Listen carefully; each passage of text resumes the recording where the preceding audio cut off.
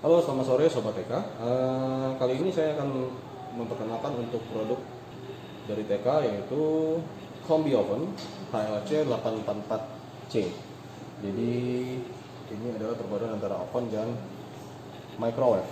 Nah, oke kita akan lanjut untuk pertama kali start atau pertama kali kita pergunakan oven pasti akan muncul untuk timernya untuk uh, um, waktunya.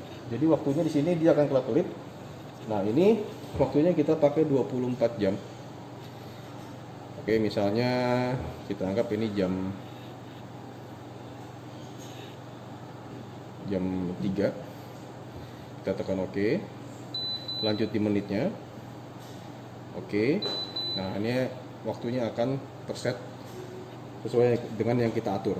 Oke, untuk selanjutnya kita beralih ke uh, fungsional dari oven combi microwave ini. Nah, jadi setiap kita putar-putar seperti ini, nah ini dia akan menuju ke uh, fungsional masing-masing. Oke, nah bagaimana sih untuk bapak ibu bisa mengetahui fungsionalnya di sini? Karena kurang jelas, kita bisa lihat dari manual book yang ada di dalam paket penjualan oven ini. Nah, di sini untuk fungsi oven itu ada konvensional atas di bawah. Di sini ada konvensional with fan. Jadi Bapak Ibu bisa menggunakan konvensional dengan adanya bantuan fan atau kipas. Ya. Sini juga ada keterangannya, ada grill sama api bawah, ada grill, ada maxi grill jadi ini untuk uh, uh, power grill yang lebih kuat. Ada grill only.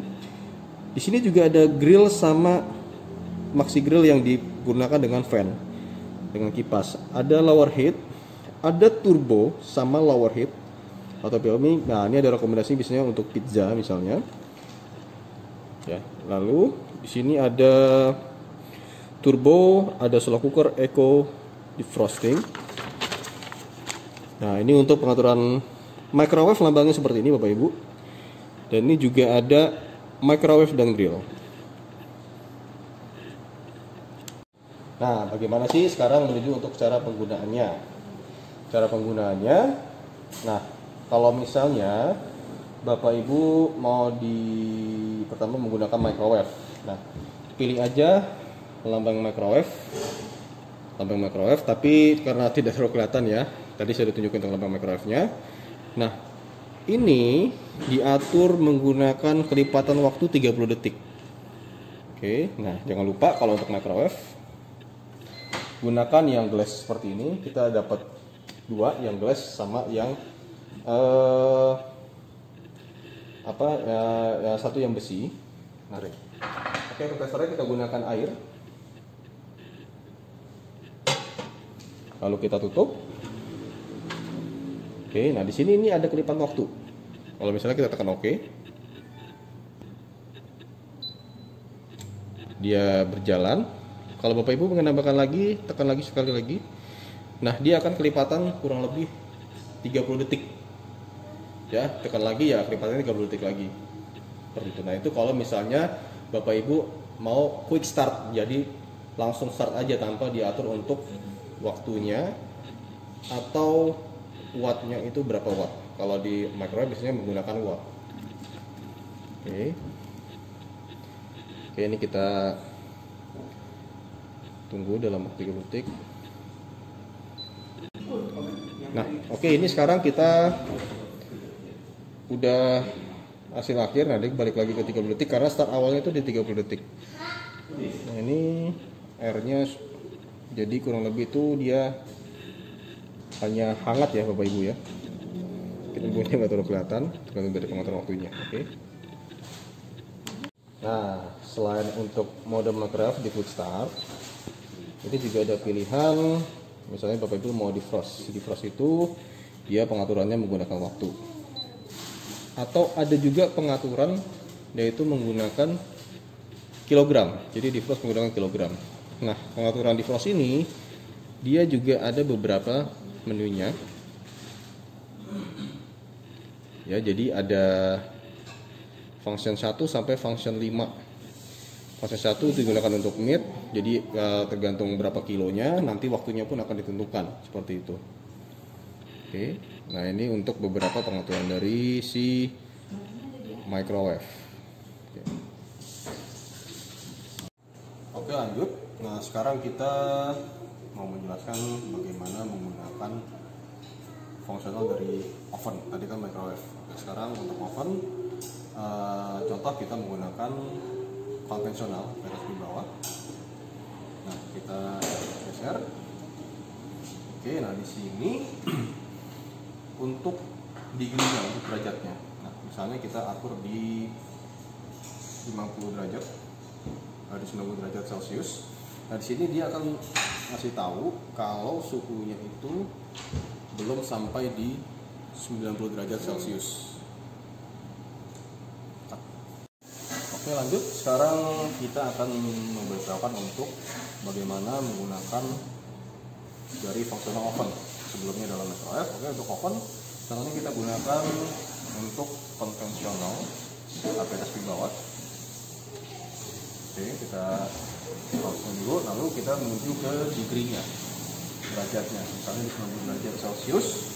Nah ini menunjukkan ada temperatur eh, lambang temperatur seperti ini Nah ini suhunya belum mencapai di 90 derajat celcius Oke kita tunggu Sampai dengan suhunya itu di 90 derajat Baru kita masukkan uh, makanan atau uh, Makanan atau apa pun itu yang akan kita gunakan di oven tersebut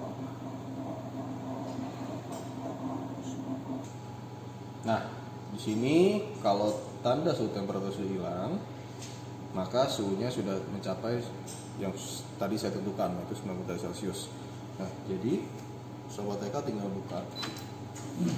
Lalu tinggal masukin apa yang akan sobat TK masak. Oke. Jadi kurang lebih penggunanya seperti itu. Dan tergantung dari nah, fungsional apa yang Bapak Ibu gunakan. Oke, nah terus uh, di sini uh, what yang akan digunakan tergantung dari berapa besar derajat yang ditentukan seperti itu oke okay. oke okay. ya uh, kita balik lagi di penjelasan saya yang awal jadi bapak ibu bisa nanti buka di manual booknya bapak ibu bisa lihat uh, bapak ibu bisa menggunakan tergantung masakan apa yang bapak ibu gunakan Nah, sedikit contoh aja, misalnya untuk grill ini biasanya adalah dia untuk membrownikan makanan atau mencoklatkan makanan dan beberapa fungsional yang lain juga seperti itu. Oke baik Bapak Ibu. Nah jadi uh, di sini untuk oven dia akan ngebus di awalnya aja. Misalnya menggunakan suhu 200 derajat Celcius, menggunakan api di bawah. Misalnya wattnya itu di 2000 atau 1500 nanti setelah seperti tadi setelah uh, temperatur yang di sini nanti temperatur hilang suhunya sudah sesuai maka dia akan drop drastis untuk wattnya. Wattnya akan turun. Nah nanti uh, cuman 50 sampai 100 watt untuk daya listriknya. Nah ketika misalnya pun turun degree-nya nanti dia nggak akan ngebus di 2000 lagi itu 1500 tetap di 100 atau 50 watt saja. Jadi sebenarnya uh, ini si oven listrik ini tidak ngebus di angka watt yang besar. Hanya di awalnya saja. Atau dengan kita sebut prosesnya namanya proses preheating. Oke sobat TK itulah jadi penjelasan dari fungsional oven kombi microwave. Nah jadi untuk berkreasi memasak apa pun jenis makanannya jangan lupa baca resepnya dulu. Kita tentukan degree-nya berderajatnya berapa api apa yang digunakan elemen apa yang digunakan supaya nanti hasilnya bisa maksimal. Oke terima kasih. Selamat berkreasi untuk memasak dengan oven TK KLC 844C terima kasih selamat sore